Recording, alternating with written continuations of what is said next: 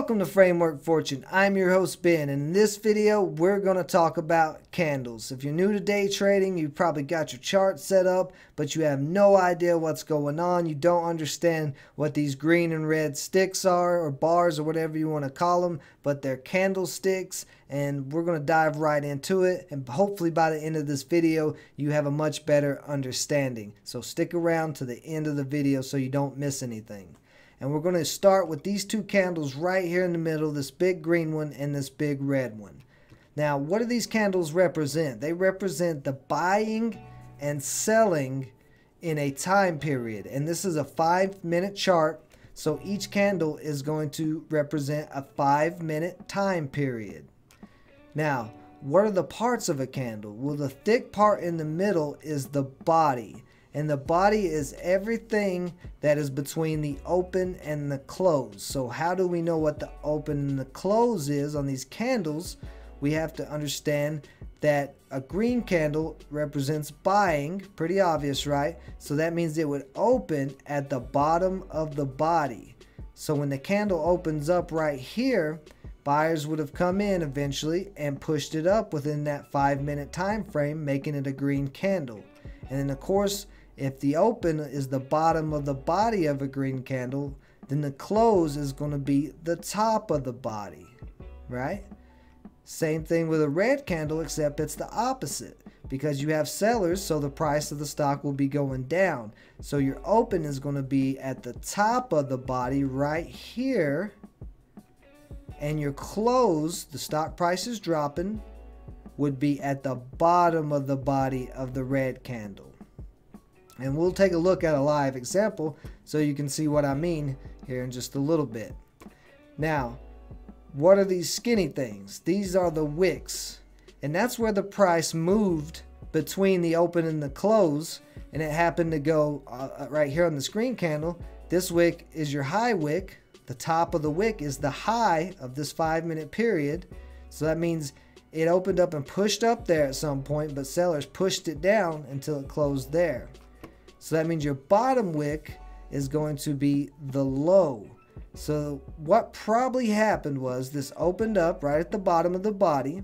Sellers tried to push it down so it turned red right here. This would have been a red candle because here would have been the open. So sellers would have pushed it down.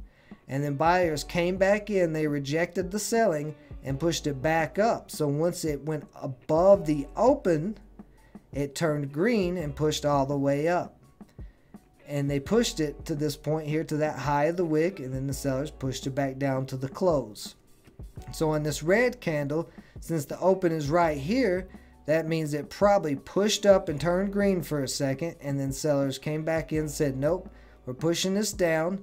So they pushed it down and it pushed below the open price of this red candle and it dropped and as soon as it did that it would have turned red and it dropped all the way to here. No buyers came in to push this up at all, so it closed right there at the end of that five minute period. So if you understand these candles, then you will be able to understand the story that they're telling you of price action. So we're going to take a look at a live candle right now. So as you can see, we have a stock right now that's live. And in about 10 seconds, the next candle is going to open up and we're going to pay attention to that, to which way it goes so you guys can really understand the open and the close. So you can see it was pushing up and now we opened. So we opened right here and you saw it push down so it turned red. If it pushes above that, it's going to turn green and you can see it starting to push above there now. It did have a quick little drop, but buyers pushed it straight up.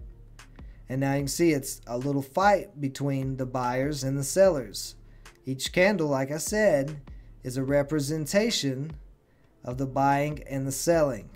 And this is actually a one minute chart, so this candle is going to open and close within a minute. Each candle right now only represents one minute. So now we're back on the five minute chart. We're going to take a look at this and see if we can figure out which direction this stock is going to go. So you can see there was a lot of buying right in the morning, pushed it all the way up. We got a high right here. This would have been the pre-market high. And uh, what mean what does that big upper wick mean? It means the sellers took over and pushed this down. And you can see after they did that, after you got this long wick, this long wick of selling pressure, the price actually dropped down over the next few candles. but it ended up holding up right in this area. Because it dropped down to there and buyers pushed it back up. And then it dropped down some more and buyers pushed it back up a little bit there. And so it would have opened right here even lower and it started dropping some more but then buyers pushed it up again and so it went all the way up to right here at the top of this red candle so we see the sellers push it down again and they pushed it down to this level again where the buyers came back before and pushed it up and the buyers did that again. So this time the buyers pushed it all the way up and actually pushed it through this high right here. And it pushed all the way up to here. So we actually got a new high right here. It sold off again. You see a lot of selling pressure came in there and the buyers and the sellers kind of negotiated for a while. And it started going sideways. And then it ended up pushing down to right here. But you can see here it ended up holding up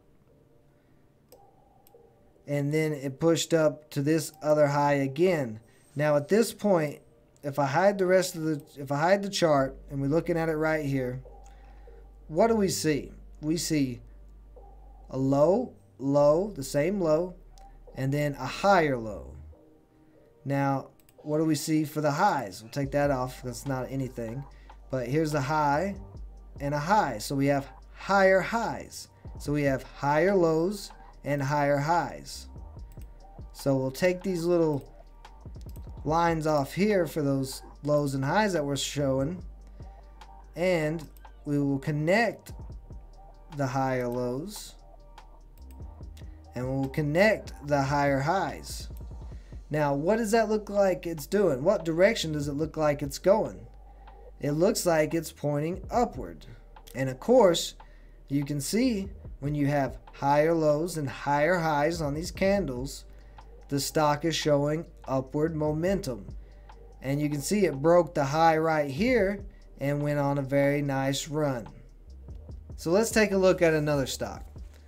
You can see right here, this stock, buyers came in, pushed it up. It got, hang, got hung up in this area. You see that there. Got a high there. Then it dropped back down and it didn't really build any support in this area because this wick was lower than this wick and then this wick was lower than this wick so we could see that the selling pressure was dropping off and the buyers were winning to see this push up so then we got this high up here so then the sellers said that's too high and they pushed the price all the way back down to this area so now we have kind of a support area where multiple candlesticks have closed at right along there. So there's our lows. So we've got two highs so far and we have a low. But we didn't make a higher high. This is the next kind of upward movement and it didn't get as high as this one did. If we connect those tops like that, what are we showing? A downtrend. So with that downtrend, if we move over and look, you can see the stock went down, sold off. So just by looking at these candles, we were able to tell the general direction of the stock. And you got a nice big sell off here.